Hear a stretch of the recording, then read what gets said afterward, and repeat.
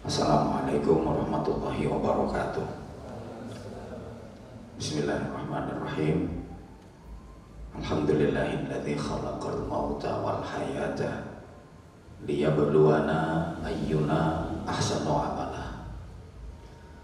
Wassalatu wassalamu ala sayyidina wa maulana Muhammadin mustafa wa ala alihi wa ashabihi ahli syuduqi wal wafa. Amma ba'du. Yang sama-sama kita cintai kita banggakan, kita hormati, kita ta'zimi pengasuh dan pendiri pondok pesantren tahfidzil Quran cinta Rasulullah. Mas saya Mas Kiai Haji Ahmad Rifai. Gus Fuad dan juga seluruh keluarga yang saya hormati. Adik-adik para santri penghafal Al-Quran yang rata-rata masih jomblo gitu. ya nggak apa-apa jomblo visabilillah.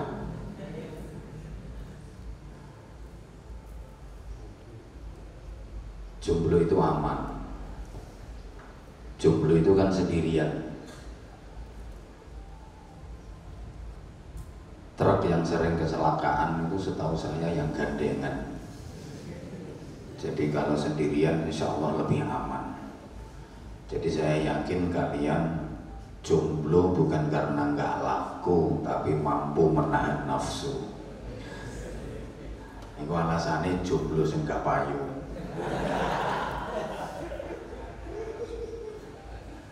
Karena kalian masih punya cita-cita hebat, masih punya cita-cita luar biasa. Sekarang harus bersusah-susah dulu untuk mendapatkan kemuliaan. Katanya berakit-rakit ke hulu, berenang-renang ke tepian. Teman kamu sudah ke penghulu, eh kamunya masih sendirian.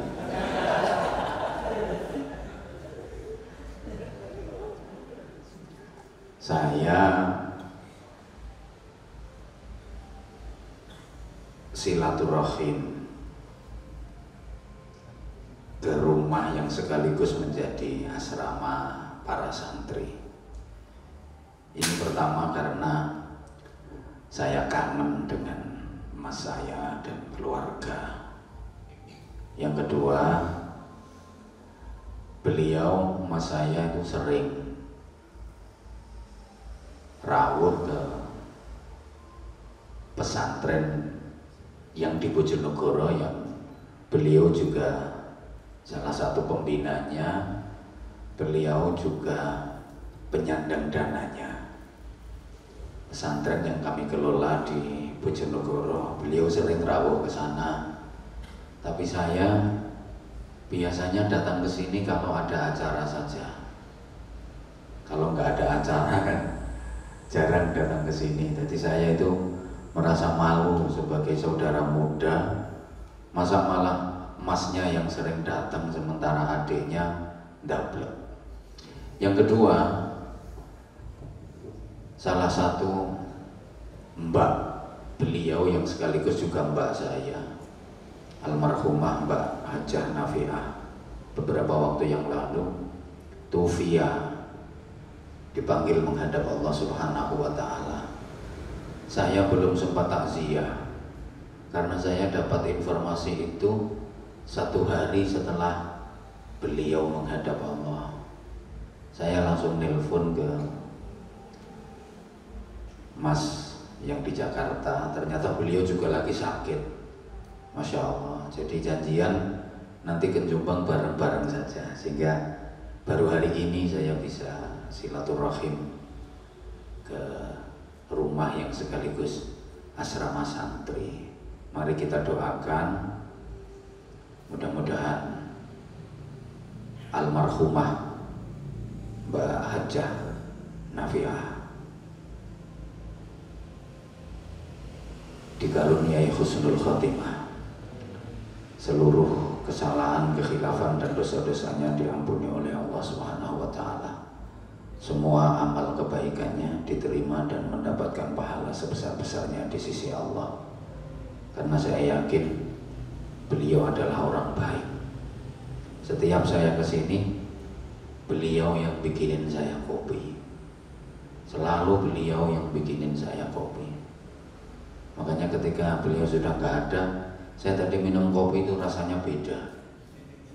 Hambar, nggak kayak biasanya Ternyata tadi itu bukan kopi entah bikinannya siapa, kayaknya bikinannya Gus Fuad.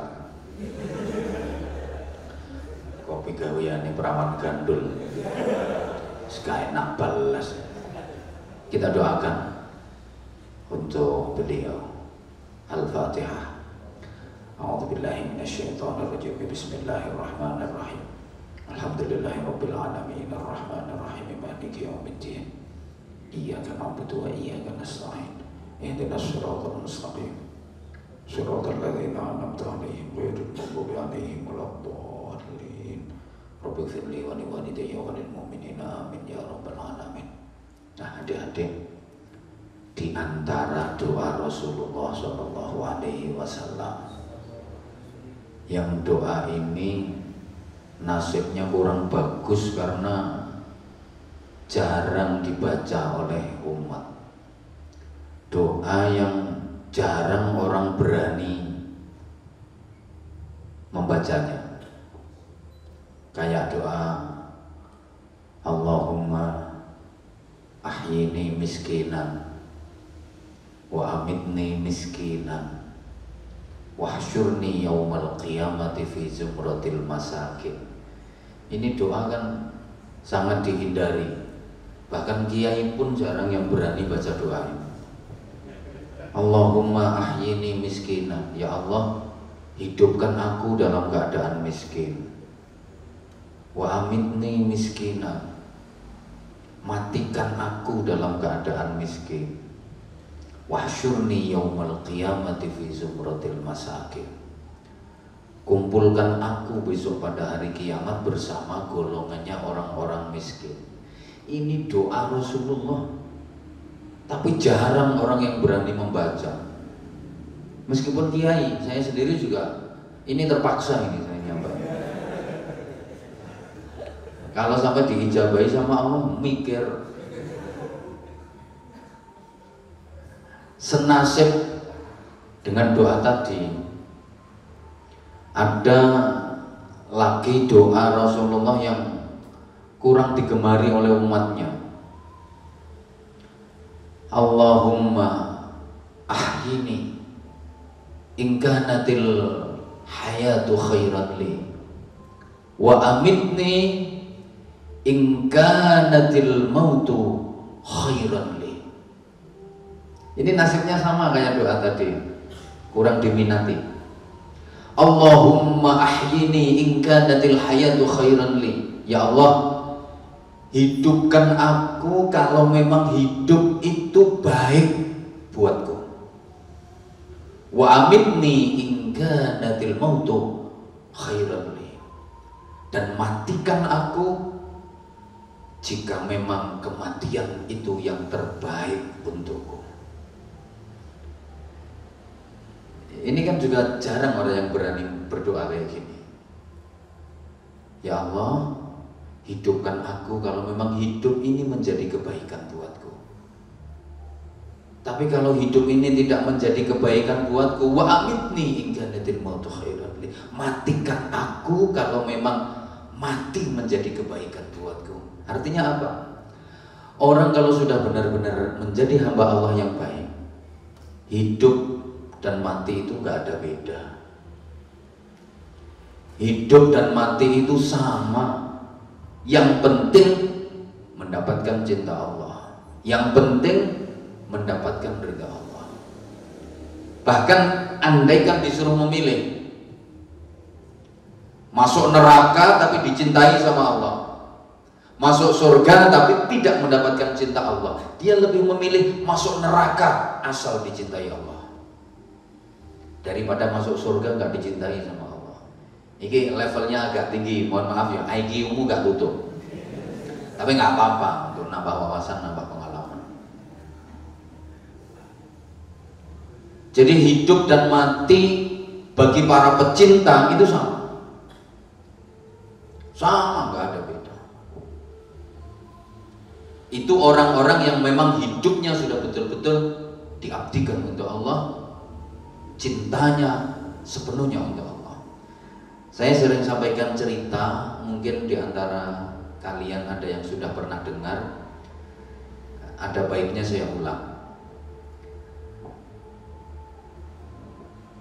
Salah satu istri yang paling dicintai oleh Khalifah Harun ar-Rasyid itu adalah seorang perempuan desa katrok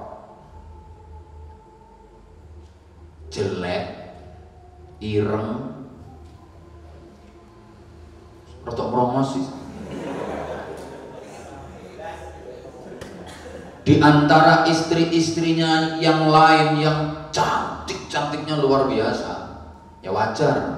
Emang raja istrinya cowok cantik-cantik. Di antara istri-istrinya yang lain yang cantik-cantiknya luar biasa tapi yang paling disayang, paling dicintai sama Khalifah Harun ar-Rasyid justru istrinya yang deso, jelek, hitam. Ini seluruh anggota keluarga kerajaan heran ini orang kok aneh banget. Istrinya yang lain itu cantik-cantiknya luar biasa. Tapi beliau memperlakukan istri-istrinya yang cantik-cantik itu biasa aja. Yang diistimewakan, yang paling dicintai, justru istrinya yang paling jelek. Nah ini susah ditiru, ini susah. Nah, meskipun beliau pun susah, contohnya kayak gini susah. Susah, aku yakin susah. Mau mau ngelepasin yang cantik usus kayak luar biasa. Bukan karena apa ya, karena cantik. Susah luar biasa. Ketika ditanya, wahai sang khalifah, wahai sang raja, anda ini aneh. Istri anda itu cantik-cantik kayak gitu. Tapi kenapa? Perhatian anda biasa-biasa aja. Justru yang paling anda cintai, yang paling anda sayangi adalah istri yang paling jelek. Udah jelek, hitam, rongos ya. Sang khalifah nggak mau jawab, nggak mau kasih argumen, nggak mau kasih penjelasan. Beliau langsung menampilkan sebuah demonstrasi. Dipanggillah para istri-istrinya. Wahai istri-istriku, kalian ngumpul. Kumpul semua istri-istrinya. Termasuk yang hitam dan merongos tadi. Setelah istrinya ngumpul semua, kemudian sang khalifah mengeluarkan kunci tempat apa? Mengeluarkan kunci gudang tempat penyimpanan harta kekayaan pribadinya yang penuh dengan pakaian sutra, perhiasan, emas, permata, inten ceberut, yupaitan, tapok parut.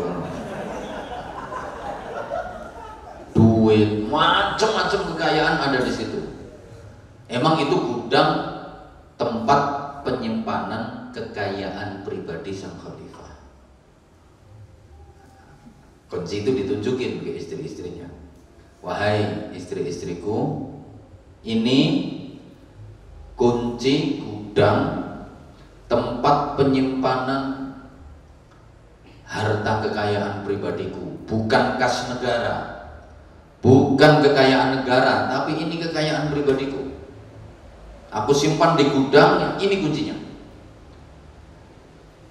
Sekarang bawa kunci ini, buka pintu gudangnya, kalian masuk dan kalian aku persilahkan untuk mengambil harta kekayaan yang ada di dalamnya semau kalian sebanyak-banyaknya berapapun yang kalian bisa kumpulkan ambil itu hak kalian bisa dibayangkan perempuan kalau ditawarin duit ditawarin harta kekayaan mesti bahasa Inggrisnya the the jemritel nah iya. Iyalah akeh-akeh ngono akeh-akeh ngono. Lah nek sampean lek dadi wong sugih jangan berharap duwe bojo ayu. Kalaupun zaman gak sugih kok bojone ayu itu nasibmu tepak apik. Lha sampean nek duwite gak akeh, ojo terlalu ngarep punya istri cantik. Ya sing koret-koretan yo telaten ono. Maka para istrinya masuk ke dalam gudang tempat penyimpanan kekayaan pribadi tadi dan mereka berebut mengumpulkan harta kekayaan yang ada di dalamnya sebanyak-banyaknya yang bisa dia kumpulkan semuanya iya kecuali sang istri kesayangan yang deso, yang katrok, yang jelek, yang hitam, yang rongos tadi. Dia tempat tetap duduk di tempatnya sama sekali nggak bergerak. Yang lain rebutan. Akhirnya dia ditanya sama sang khalifah, wahai istriku, kenapa kamu diam di situ? Kenapa kamu nggak ikut mereka yang masuk ke gudang penyimpanan harta kekayaan pribadiku untuk mengambil apa yang kamu inginkan, untuk mengambil kekayaan apa yang kamu butuhkan? Kamu kok tetap diam di sini? Jawabannya sungguh menakjubkan. Apa jawab istri kesayangan yang deso, yang katrok, yang jelek tadi? Wahai suamiku, aku tidak menginginkan semua itu. Yang ku mau hanyalah melayanimu. Aku hanya ingin mengabdi padamu. Engkaulah yang paling kucintai, wahai suamiku.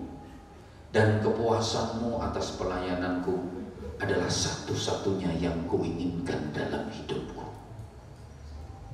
Subhanallah. Hmm. Umpama saiki ana wong wedok model kaya ngene Tapi ayu loh. Aku siap nambah mana. Nah, syaratnya kudu ayu, lan ireng merongos yo mau. Begitu ada jawaban kayak gitu, Akhirnya sang khalifah berkata kepada para keluarga kerajaan, sekarang kalian tahu, kalian menyaksikan dan mendengar sendiri apa alasannya aku paling mencintai istriku yang ini. Kenapa aku paling menyayangi dan mencintai istriku yang ini? Karena ketulusan, karena cintanya. Coba subhanallah. Wahai suamiku, Aku tidak menginginkan harta, aku tidak menginginkan kekayaan dunia. Aku tidak mau semua itu. Yang ku mau hanyalah melayanimu. Yang ku inginkan hanyalah mengabdi padamu dan kepuasanmu atas pelayananku, keridoanmu atas pengabdianku, itulah satu-satunya yang ku inginkan dalam hidupku. Coba kalau para istri mau ngomong kayak gitu ke suami, pasti rumah tangga akan tentu. Dan coba itu kita praktekkan ke Allah. Dalam hubungan kita ke Allah. Coba kita punya hati yang seperti itu ke Allah. Ya Allah aku tidak menginginkan harta kekayaan dunia. Aku tidak menginginkan jabatan. Aku tidak menginginkan kedudukan. Aku tidak menginginkan duit kekayaan apa pun. Yang ku mau hanyalah melayanimu ya Allah. Yang ku inginkan hanyalah mengabdi padamu. Engkaulah yang paling ku cintai dalam hidup dan kepuasanmu atas pelayananku, keridoanmu atas pengabdianku, itulah satu-satunya yang kuinginkan dalam hidupku. Ini kalau dilanjutkan, perkara engkau ngasih rezeki aku berapa, itu kan urusanmu ya Allah. Nah iya kan?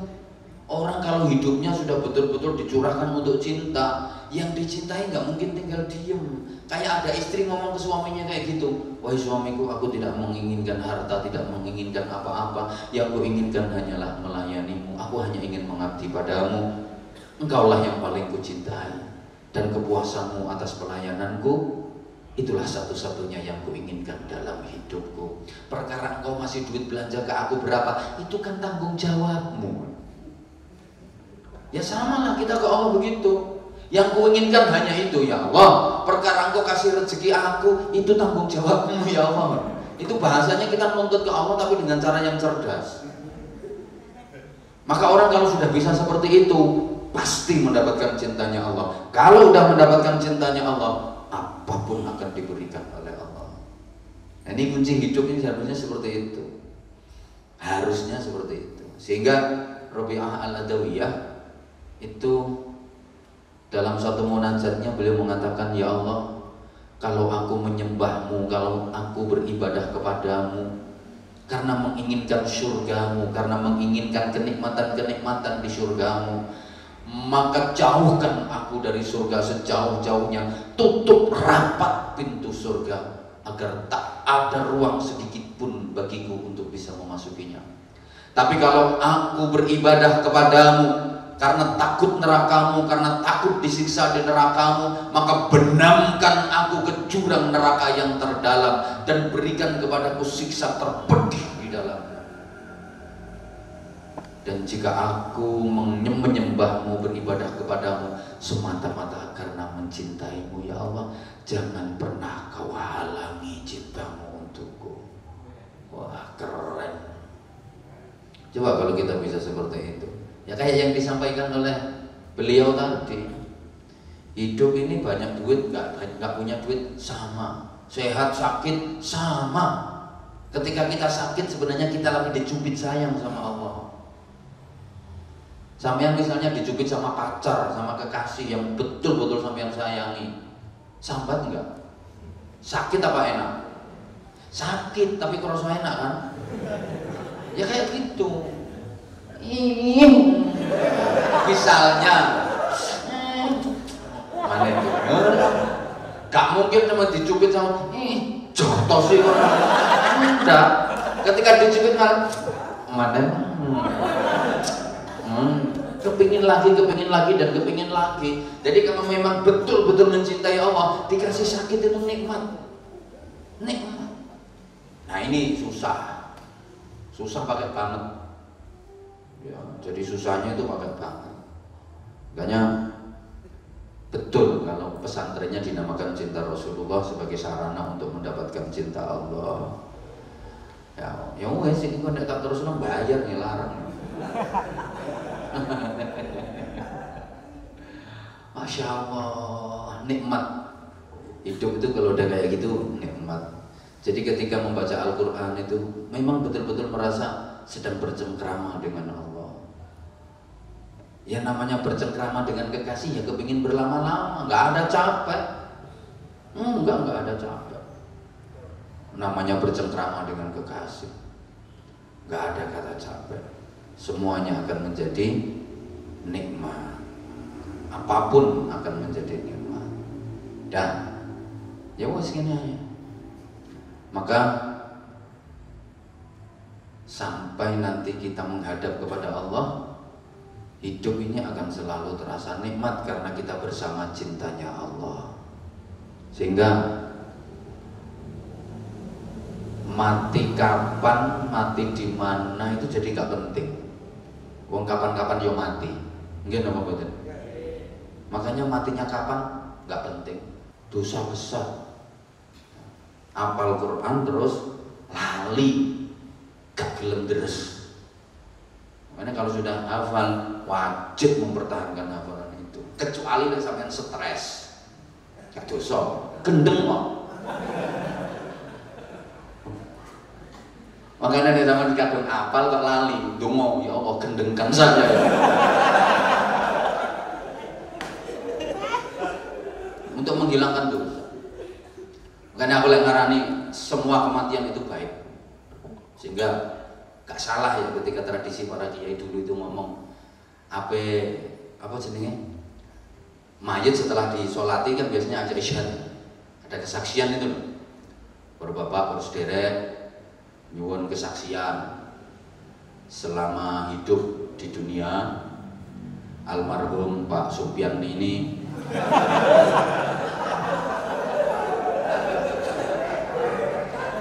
Ini orang jelek apa orang baik? Baik. Gak apa-apa wis ngomong ngelek oh, gak apa-apa sama ngomong api gak apa-apa. Cuma jualan ngono.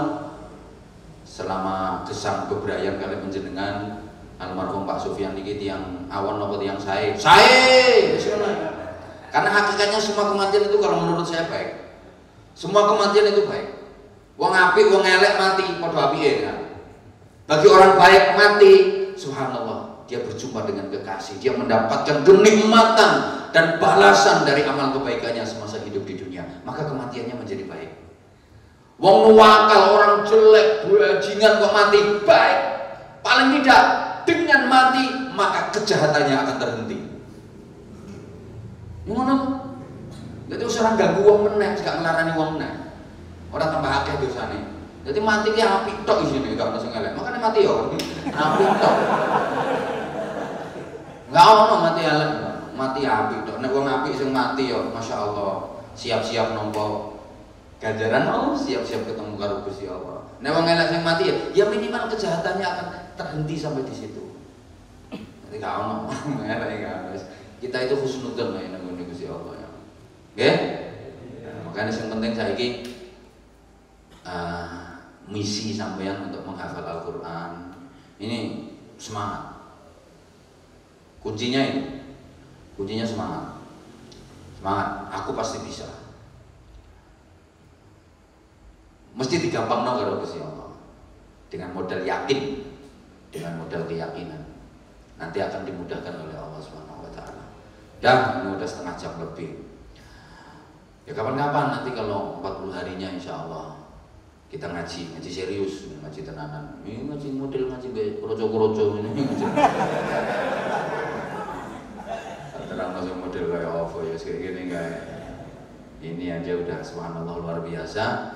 Uh, saya suka dengan wirid kalian termasuk Al-Quran tiga wirid untuk duha, untuk tahajud, Masya Allah. Tadi beliau sempat nyinggung betapa salah satu watifah Rasulullah SAW nggak pernah meninggalkan qiyamul lail dan ciri orang soleh ciri orang soleh itu bukan kok rajin sholat lima waktu rajin membaca Al-Quran. Akeh tunggale rajin sholat lima waktu rajin baca Al-Quran. Banyak itu. Banyak. Rajin puasa banyak. Ciri orang soleh itu istiqomah qiyamul lailnya. Ini yang jarang orang buat. Cuman kalau pengen tahu orang itu soleh apa enggak atau ukuran sampai yang termasuk soleh apa enggak, lihat dia mulainya, sholat malamnya. Ya, kalau untuk urusan sholat lima waktu, ah semua bisa. Baca Quran rutin, banyak yang bisa. Sekarang banyak yang ikut program ODOJ, ODOC, One Day One Juice. Banyak, banyak. Zikir, wah banyak orang bisa. Tapi untuk yang lain itu berat dan cirinya di situ sehingga dalam kehidupan berkeluarga Rasulullah Wasallam itu seperti mewajibkan untuk keluarga terutama istri-istrinya tentang qiyamul lail. Wajib. Tapi Rasulullah nggak mengerjakan di masjid dan berjamaah. Takut nanti kalau diwajibkan ke umatnya. Kayak hadis dalam sholat tarawih itu loh. Kenapa Rasulullah sholat tarawihnya di rumah? 20 rakaat. Di rumah. Nggak di masjid nggak berjamaah. Karena Rasulullah khawatir kalau sholat taraweh dikerjakan di masjid dan berjamaah memberatkan umat. Khawatir taraweh ini menjadi wajib. Kalau menjadi wajib gak kira kuat. Potongan Pak Supian gak kira kuat. Gak kira kuat.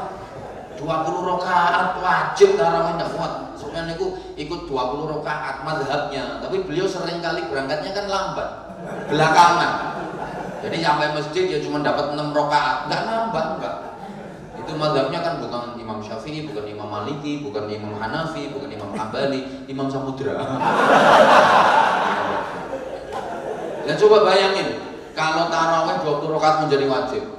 Ya, mau sekarang aja banyak yang sholat sehari lima kali dijadikan lima hari sekali kok. Ya kan? Apalagi kalau taraweh diwajibkan. Sama kasusnya dengan qiyamul lail, sholat tahajud itu. Makanya ayat Qur'annya jadi minal laili fatahajjad bihi nafilatan lak asa an yab'atsaka rabbuka maqaman mahmuda itu nafilatan lak.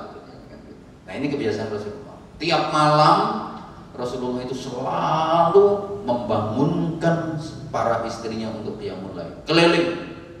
Silakan ya mas dengar mas ya keliling tiap malam. Jadi ya. Keliling. Jadi ya kadang kan gara-gara kurang kelilingnya ada kecemburuan sosial macam-macam itu kan. Kadang-kadang kurang kelilingnya. Gue menang gue situ erung payu nah, nah, makanya kan ada kisah yang sangat terkenal ini. Kisah yang sangat terkenal. Ah, ya Allah. Pas itu yang mengisahkan istri Rasulullah Sayyidah Aisyah radhiyallahu taala istri yang paling dicintai oleh Rasulullah setelah Khadijah wafat. Dan memang ketika masih beristri Khadijah kan Rasulullah eh, nggak uh, nikah ke siapa-siapa. Ini yang menceritakan Sayyidah Aisyah sendiri. Beliau bercerita pada satu malam giliran Rasulullah bermalam dan tidur di rumahku. Kami tidur seranjang. Ya, sebagaimana layaknya suami istri, kami bermesraan. Dan asal tahu Rasulullah itu kalau ke istri-istrinya mesra banget, romantis banget. Sampai Rasulullah sudah sepuh, kemesraan dan romantisnya Rasulullah itu nggak kalah sama yang muda-muda. Nah, iya. Kalau Pak Sufyan juga romantis, rokok mangan gratis ya.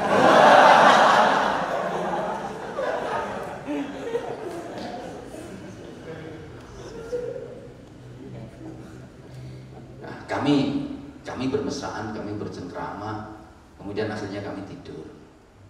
Rasulullah itu kan membagi waktu malamnya menjadi tiga. Ini Rasulullah memberikan contoh betapa kehidupan Rasulullah sangat ideal sebagai manusia. Setiap malam malamnya Rasulullah itu dibagi tiga. Sulusun li ahli, sepertiga untuk keluarga, untuk anak, untuk cucu, ya untuk untuk keluarga. Bercengkrama, guyon karo keluarga. Yang sepertiga. Wa sulusun li nafsi, sepertiga untuk diri sendiri, untuk istirahat.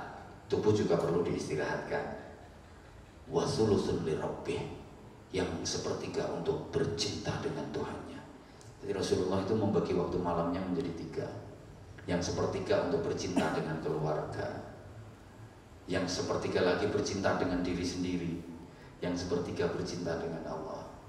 Nah, begitu lewat tengah malam, Sayyidah Aisyah meneruskan ceritanya. Begitu lewat tengah malam, aku terbangun Aku nyari Rasulullah nggak ada di sampingku. Aku nyari Rasulullah nggak ada di sisiku. Padahal waktu itu aku lagi pengen disayang. Begitu aku terbangun, Rasulullah nggak ada di sampingku. Padahal aku lagi pengen disayang banget. Maka seketika cemburuku pun berkobar-kobar. Dahsyat kemarahanku. Mesti namanya bujur liani. Setia manusiawi lah ini kan namanya bujung ini ya. Nah Rasulullah itu kan punya kebiasaan. Lewat tengah malam beliau bangun, kemudian beliau keliling membangunkan para istri-istrinya untuk yang lain. Emang benar Rasulullah keluar membangunkan istri-istrinya yang lain. Nah karena Sayyidah Aisyah waktu itu lagi pengen dimanja, lagi pengen disayang. Begitu bangun nyari, suami nggak ada di sampingnya, ya dongkol, jengkel, cemburunya membara. Maka Sayyidah Aisyah itu sampai ngomong dalam hatinya, awas pokoknya nanti kalau pulang ngurus aku dibangunin kayak apa, gak mau bangun.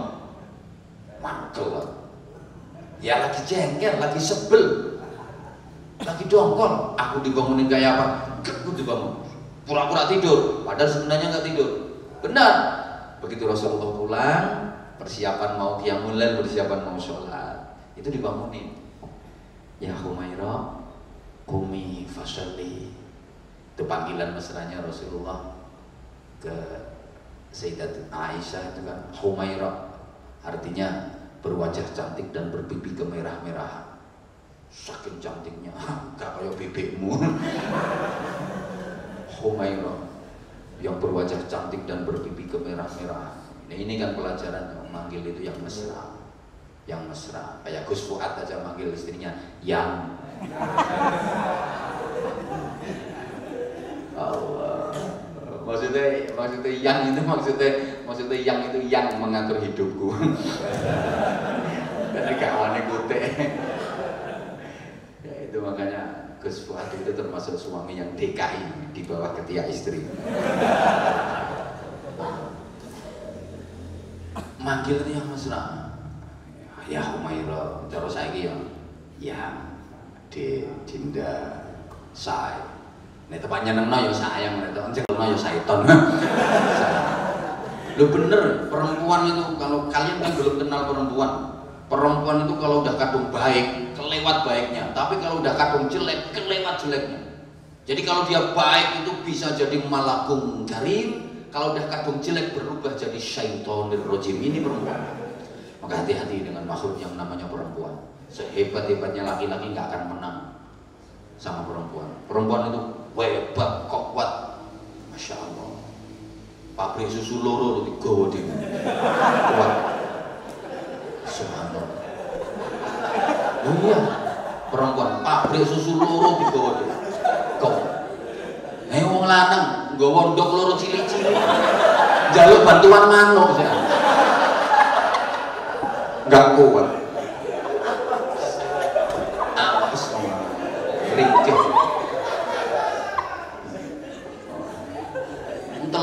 Kecil-kecil bawa dewi gak kuat.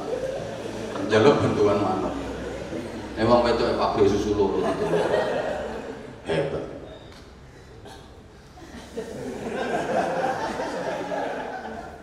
Allah hebat. Kayaknya kan saya dia sering ngomong wanita itu mulia dan suci wanita. Kalau diibaratkan ya kayak sajadah wanita suci kok kayak sajadah? Ya karena laki-laki bisa beribadah di atasnya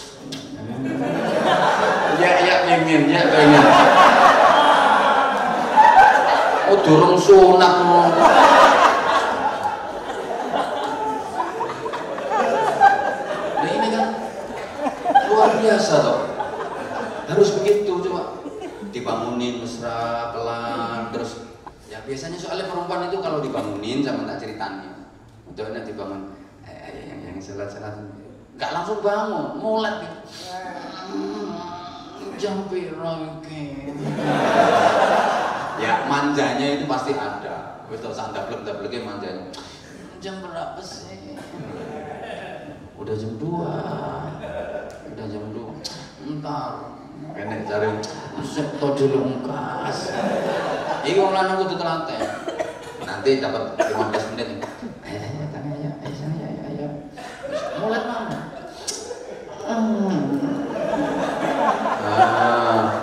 ada posisi kayak gitu kan wong lanang kudu tanggap langsung angkat pelan-pelan. Ayo, bismillahirrahmanirrahim. Bismillah nah duduk dia. Ah, sandarkan ke dada kita mulai ah, prakteknya ini terus ajak ke kamar mandi antar wudhu nek perlu digendong. Pokoknya kan lemu-lemu loh ya. Gendong dan nek lemu ya gelundung no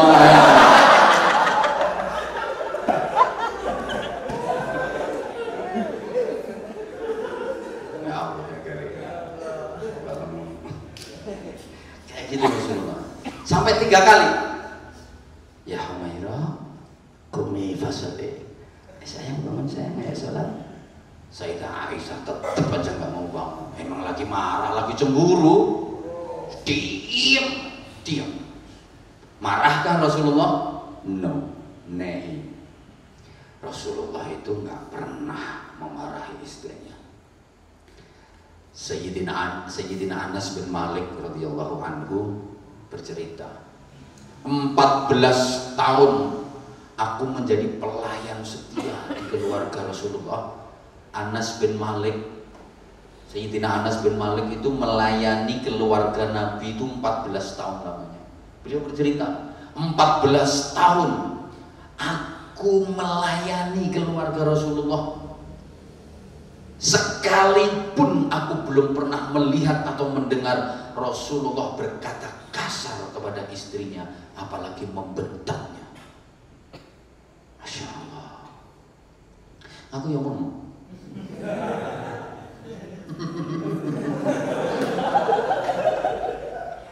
Allah jadi makanya kalau ya saking subhanallah makanya tanya sama Mas pernahkah beliau ngeliat atau tahu aku lagi bareng sama beliau istriku nelpon? Nggak pernah. Ayo siapa yang pernah ngeliat kalau aku lagi di sini atau jalan ke mana terus tiba-tiba istriku nelpon aku karena curiga ini curiga ini curiga ini? Nggak pernah nelpon. Ya kayak kuat diluk-diluk di telepon diluk-diluk di telepon. Aku nggak pernah istriku nggak pernah. Pokoknya aku berangkat aku neng nggak pernah enggak soalnya tak blokir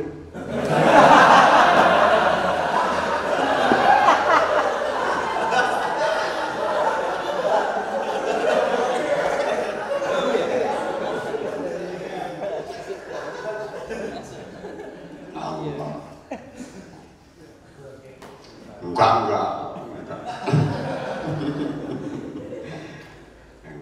Aku berangkat minta doa. Udah didoain. Coba. Rasulullah kayak gitu. Marah Rasulullah? Enggak itu tadi Rasulullah itu enggak pernah berkata kasar kepada istrinya enggak pernah membentak kepada istrinya sampai ketika Cemburu berat dalam peristiwa hadisul ifki Sayyidah Aisyah, Aisyah yang diisukan ada main sama Utsman bin Mat'un yang di peristiwa hadisul ifki itu. Rasulullah sama sekali nggak membentak enggak bahkan ketika Rasulullah dimarahi istri-istrinya itu ya, pure iya iya pure. Ya Rasulullah juga pernah pure manusia istrinya ngomel, datang ke istri ini ngomel, datang ke istri ini ngomel, ngomel. Rasulullah kalau pura itu ke masjid dikit. Gak kayak Pak Sufyan yang warungnya rondo.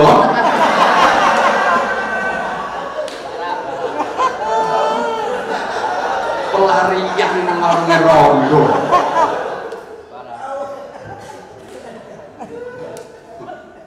Coba ini ya, masya Allah. Akhirnya sampai tiga kali, sampai tiga kali dibangunin. Sayyidah Aisyah tetap aja nggak mau bangun lagi cemburu, lagi marah, cemburu, kok rasanya. Sayang ya bangun saya, sholat, sholat, sholat, tetap aja nggak mau.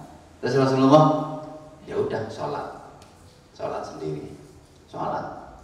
Insya Allah, lama Rasulullah kalau sholat, lama, lama berdirinya, lama rukuknya, lama sujudnya. Sehingga riwayat yang masyur, beliau kalau qiyamul lail itu sampai kakinya bengkak-bengkak. Saking lamanya sujud, rukuk, berdiri, saking lamanya. Dah selesai sholat doa didekati istrinya. Masya Allah ini nih mesranya Rasulullah sama istrinya yang kita sulit untuk mencontohnya. Rasulullah kemudian duduk di sebelah tubuh Sayyidah Aisyah yang lagi marah, yang lagi cemburu tadi. Kemudian beliau membisikkan kata mesra kepada Sayyidah Aisyah yang lagi marah, lagi cemburu dengan bahasa yang indah, dengan tutur kata yang lembut didekatkan ke telinga Sayyidah Aisyah. Apa yang dikatakan Rasulullah? Ya Humairah, wahai istriku, sayang, aku tahu kamu nggak tidur kok. Kamu cemburu kan? Dengar ya Humairah istriku sayang. Andaikan engkau berkata, andaikan engkau bertanya, siapakah wanita di dunia ini yang paling aku cintai? Demi Allah, aku akan menjawab, engkaulah wanita yang paling kucintai di dunia ini. Dan dengar Humairah ya, aku mau ngomong. Jika nanti aku yang mati lebih dulu sebelum engkau, Aku ingin agar engkaulah yang mendampingi di saat aku mati. Bahkan aku ingin nanti kematianku itu di rumahku, di rumahmu ini. Dan itu kan terbukti betul. Rasulullah meninggalnya di rumah Sayyidah Aisyah. Bahkan makam Rasulullah yang sekarang itu juga dalamnya Sayyidah Aisyah dulu itu. Humairah, saking cintanya aku ke kamu, Dengar ya, sayang aku ngomong. Sampai kapan pun engkau tidak akan pernah mendapatkan ada laki-laki yang lebih menyayangi, memperhatikan dan mencintaimu melebihi aku. Iya. Rasulullah itu rayuannya maut. Khumairah, jika engkau yang mati lebih dulu sebelum aku, Aku sendiri yang akan memandikan jenazahmu. Aku sendiri yang akan mengkafani jasadmu dengan tangan-tangan suciku. Aku yang akan memimpin dan menjadi imam sholat jenazahmu. Aku yang akan memanggul jasadmu menuju makbarah. Dan aku yang akan memasukkan jenazahmu ke liang lahat bersama lantunan doa-doa. Masya Allah. Sayyidah Aisyah kemudian melanjutkan ceritanya. Mendengar ucapan itu kemudian tanpa sadar air mataku bercucuran. Demi Allah, aku belum pernah mendengar kata-kata seindah itu dari lisan Rasulullah. Maka seketika marahku pun menjadi reda, cemburuku pun menjadi hilang. Masya Allah. Ini saya kira coba dipraktek Pak Sufyan misalnya ngomong nang bojo. Saya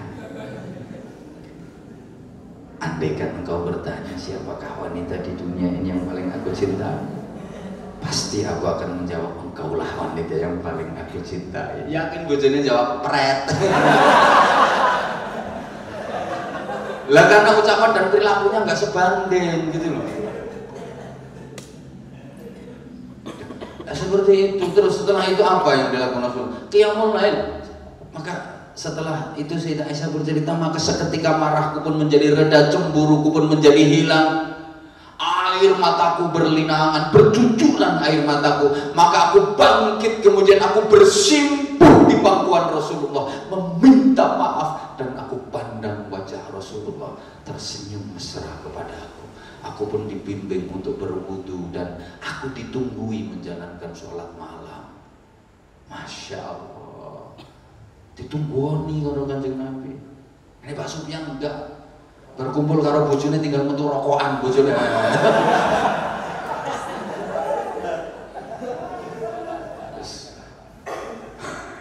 Wes wes wes. Lah itu. Setelah itu deresan Quran jadi di keheningan malam sambil menunggu waktu subuh terus Al-Quran. Pemana sampean-sampean niki. Insya Allah.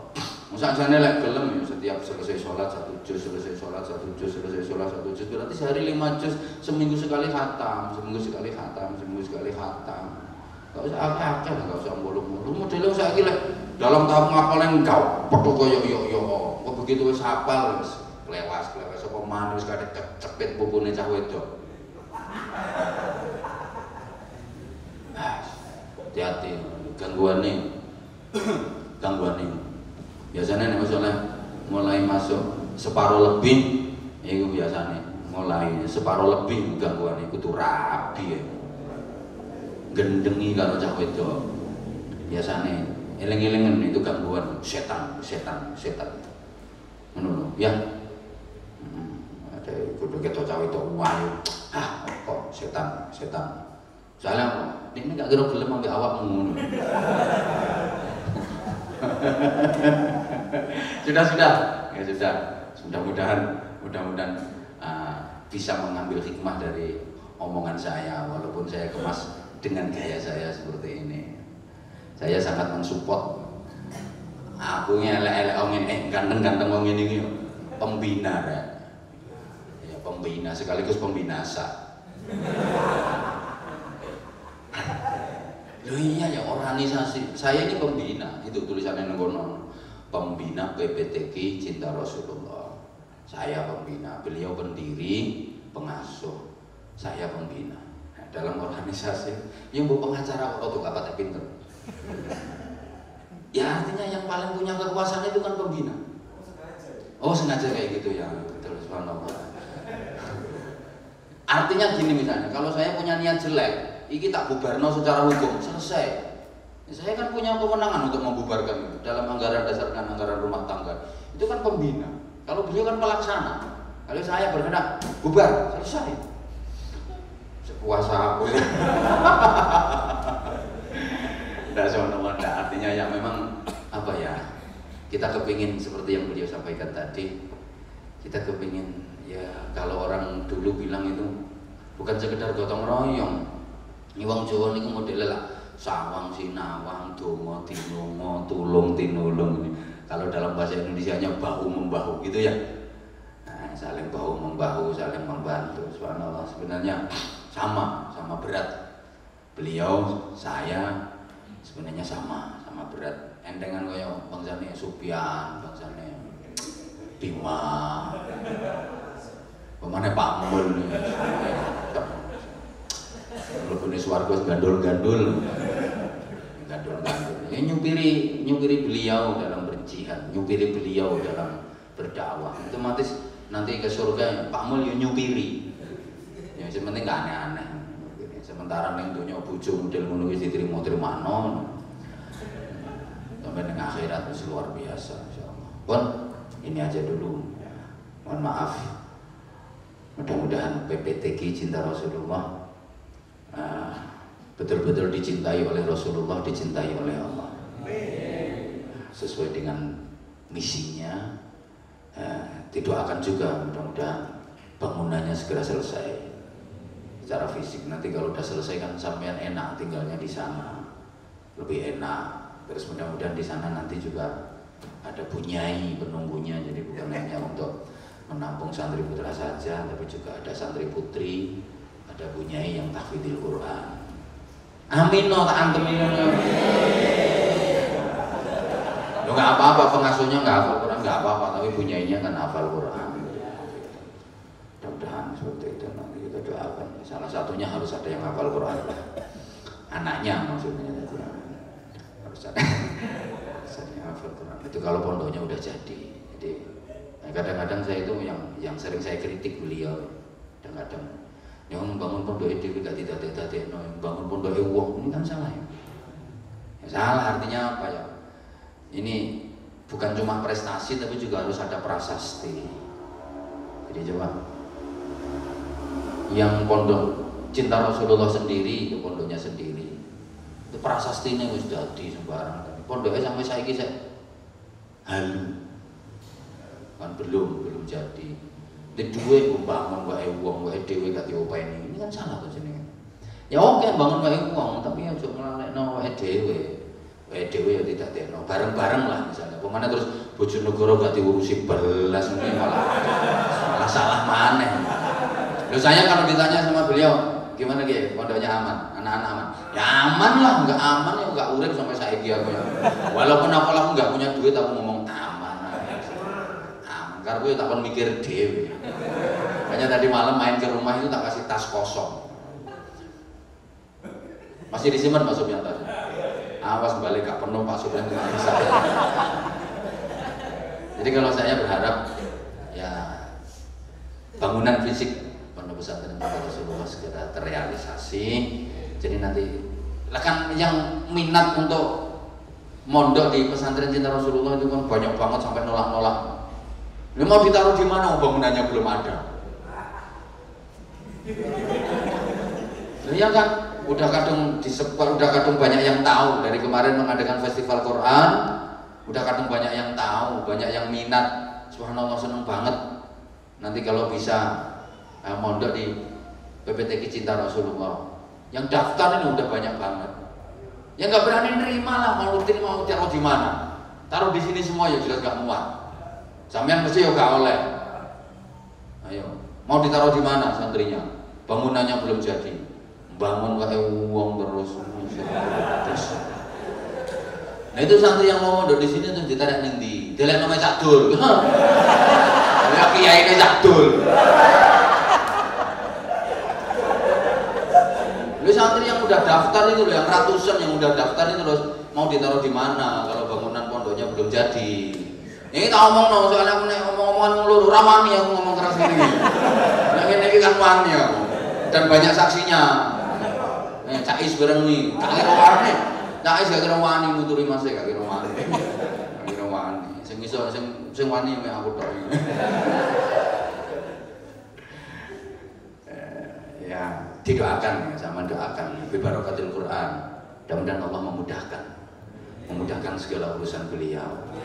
Karena beliau orangnya nggak isoan. Beliau itu orangnya nggak isoan. Jadi kayak gitu. Jadi saking nulung orang sampai awal ide gak coba ini ya, kayak gitu emang beliau orangnya kayak gitu. Jadi, nulung uang awal ide gak coba ini sampai haji itu orang lain udah dibayar semua. Dia dia belum bayar. Itu itu biasa. Beliau kayak kayak gitu itu udah biasa. Jadi makanya itu salah satu kelemahan kalau menurut saya ya kelebihan tapi juga di sisi lain juga kelemahan. Ya, bikin ya ngomongi dewian mulur ya wani ya enggak wani.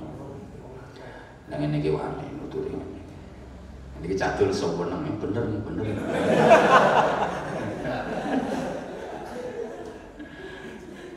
Das, eh, itu nganu ya. Saya juga Masya Allah selalu mendoakan beliau mudah-mudahan diberikan sehat walafiat diberikan panjang umur perjuangan masih panjang perjuangan masih panjang. Apalagi cita-cita membangun PPTK Cinta Rasulullah. Belum lagi hutangnya beliau masih banyak. Masih banyak hutangnya beliau. Masjid-masjid musola-musola anak-anak yatim masih banyak yang membutuhkan beliau. Jadi kita doakan Al-Fatihah. A'udzubillahi Bismillahirrahmanirrahim.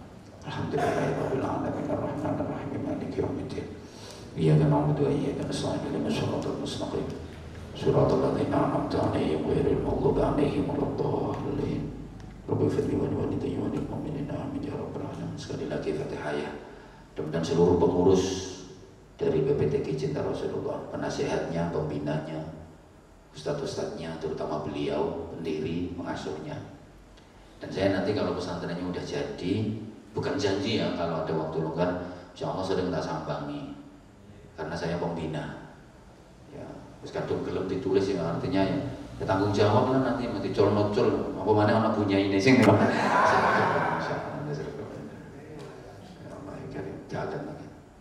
ya Allah Al-Fatihah أعوذ بالله من الشيطان الرجيم بسم الله الرحمن الرحيم الحمد لله رب العالمين إياك نعبد وإياك نستعين اهدنا الصراط المستقيم. صراط الذين أنعمت عليهم غير المغضوب عليهم ولا الضالين. رب اغفر لي ولوالدي وللمؤمنين. آمين يا رب العالمين. اللهم صل على سيدنا محمد وعلى آله وسلم رضي الله. تبارك وتعالى كل صحابة رسول الله أجمعين والحمد لله رب العالمين. اللهم صل وسلم وبارك على سيدنا محمد. صلاة ننال بسرها حفظ القرآن والعمل به وارزقنا منه علما منيرا وارزقنا منه علما منيرا وارزقنا منه علما منيرا وسلم تسليما كثيرا. اللهم اجعل PPTK cinta Rasulullah معمولا بعبادك الصالحين معمولا بعبادك المؤمنين ومعمولا بعبادك المخلصين ومعمولا بعبادك المتقين. نافعة مباركة استقامة إلى يوم القيامة. اللهم اجعلنا واجعل أولادنا وتلاميذنا وأهلنا وذريتنا من أهل العلم وأهل التقى وأهل القرآن العظيم وأهل القرآن العظيم وأهل القرآن العظيم وأهل صلاة الجماعة وأهل الصدقة وأهل الذكر والإسلام والإيمان والإحسان واليقين والإخلاص والصبر والزهد والورع والاستقامة والخير والصلاة في الدارين. ولا تجعلنا وإياه من أهل الكفر والشرك والفساد والشر والطير. اللهم إنك تعلم ذنوبنا فاغفرها وإنك تعلم عيوبنا فاسترها. وإنك تعلم حاجاتنا فاقضها كفى بك وليا وكفى بك نصيرا. اللهم حبب إلينا الإيمان وزينه في قلوبنا. وكره إلينا الكفر والفسوق والعصيان واجعلنا من الراشدين. واجعلنا من المهتدين. واجعلنا من عبادك الصالحين. اللهم لك الحمد ومنك الخرج وإليك المشرك وأنت المستعان إليك تكلان وعليك البلاغ لا حول ولا قوة إلا بك. ربنا هب لنا من أزواجنا وذرياتنا قرة أعين.